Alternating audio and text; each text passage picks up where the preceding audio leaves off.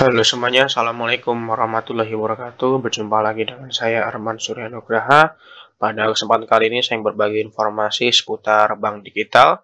Kali ini saya membahas bank digital yaitu Bank Jago. Bank digital dengan bank konvensional itu bedanya Bank digital ini dapat membuka tabungan, mengurus tabungan, dan bertransaksi semuanya bisa melalui online bisa biasanya bisa melalui aplikasinya atau dari website resminya. Kelebihannya yaitu lebih fleksibel dan tentu saja lebih ekonomis untuk biaya operasional untuk bank digital ini. Dan Bank Jago ini 21% sahamnya dimiliki oleh GoPay sehingga Bank Jago ini bisa berpartner dengan Gojek dan Bibit juga bagi yang ingin investasi melalui Pipit. Jadi fitur apa saja yang ada di aplikasi Bank Jago ini? Yang pertama, mereka menonjolkan sistem kantong. Jadi nanti ada saldo utama dan ada pengaturan saldo tersebut. Misal ada saldo total 10 juta, kita bisa mengalokasikan kantong-kantong itu menjadi kantong-kantong kecil. Di misal kantong itu bisa juga dinamai sesuai kebutuhan kita, misal untuk membayar tagihan listrik, tagihan internet, atau ingin membeli sesuatu, bisa kita namai di situ.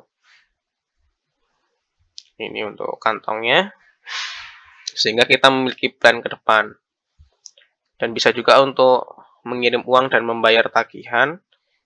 Di sini banyak sekali uh, untuk membayar tagihannya bisa kita membeli pulsa dan data. Bisa untuk pulsa pasca bayar, bisa membayar kartu kredit, listrik, TV kabel, air, dan multi finance. Bisa juga kita top up e-wallet dan transfer ke bank yang lainnya. Kartu debit Visa, ini kartu debitnya bisa dicetak secara online. Nanti hasil cetakannya itu akan dikirimkan melalui JNT kemarin saya itu. Jadi kartunya ini memiliki nomor kartu di belakang kartunya dan di depan kartunya ini bisa kita request nama kita. Kita bisa tulis di sini. Contohnya di sini ada Adam. Dan kartu ini sudah support untuk mesin ATM dan EDC. Apabila kita tidak ada bank jago di kota Anda, bisa menggunakan ATM bersama dan Alto. Bisa juga melalui Visa. Jadi kartu ini sudah multifungsi. Dan di aplikasi ini ada fitur untuk mengelok kartu debit kita. Jadi apabila kartu ini hilang, bisa langsung kita lock melalui aplikasi ini. Tentu saja tadi karena sudah 21% sahamnya dimiliki oleh Gojek, ini bisa terintegrasi dengan GoPay.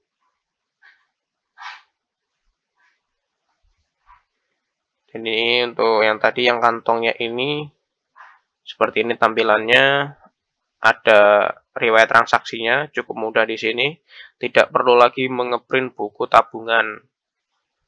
Dan kita bisa juga mengantong kunci kita. Semisal kita ingin menabung 10 tahun atau 5 tahun dan baru bisa kita ambil uang itu. Jadi bisa kita memiliki dana cadangan kita juga bisa merencanakan, bisa membayar semuanya. Jadi ini kelebihannya kita bisa menambahkan sistem pengingat berapa saja yang perlu kita bayar nominalnya dan langsung kita bayar. Karena tadi sudah di berpartner dengan Bibit, tentu saja sudah terintegrasi. Jadi ini untuk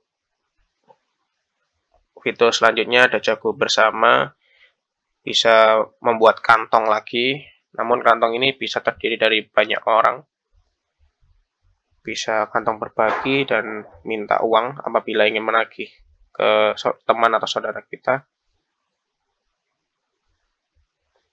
Dan ini untuk fitur keamanannya, loginnya sudah mendukung biometrik, bisa juga fingerprint juga, bisa melalui password juga. Tentu saja tadi ada fitur yang akan saya jelaskan di akhir, yaitu untuk biayanya. Ada biaya buka rekeningnya gratis, biaya penutupan rekening gratis, administrasi bulanannya gratis, dan saldo awalnya itu juga gratis. Biasanya untuk bank konvensional diminta minimal 100.000 hingga 500.000. Dan tidak ada denda apabila saldo kita kosong. Dan untuk biaya transfer ke sesama jago gratis, transfer ke bank lain ada gratisnya namun ada batasannya yaitu 25 kali transfer dan top up e-wallet per bulan dan bisa tarik tunai di bank lain 5 kali penggunaannya. Dan setelah kuotanya habis hanya 2.900 per transaksi yang normalnya itu sekitar 6.500 dan ini tarif untuk pembelian paket data dan pembayaran tagihan cukup terjangkau sekali.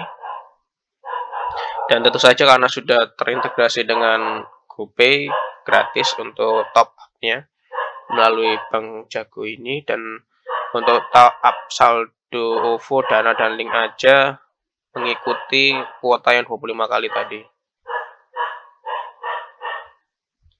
Dan itu saja yang ingin saya sampaikan. Apabila ingin membaca lebih detail lagi tentang biaya dari Bank Jago ini, bisa saya sertakan link di kolom deskripsi. Sekian dari saya. Wassalamualaikum warahmatullahi wabarakatuh.